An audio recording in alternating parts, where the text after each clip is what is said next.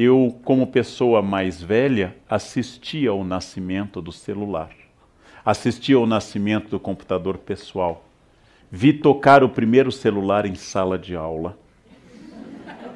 Os jovens não sabem disso, mas não havia celular antes. Eu sei que essa ideia é, é uma ideia muito extraordinária.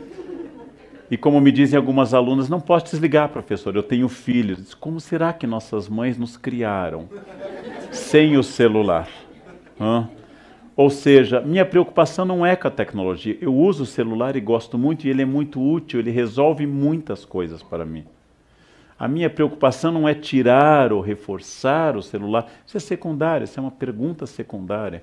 A minha preocupação é quem sou eu que preciso estar presente com tantas personagens, em tantos espaços, para que tanta gente me veja.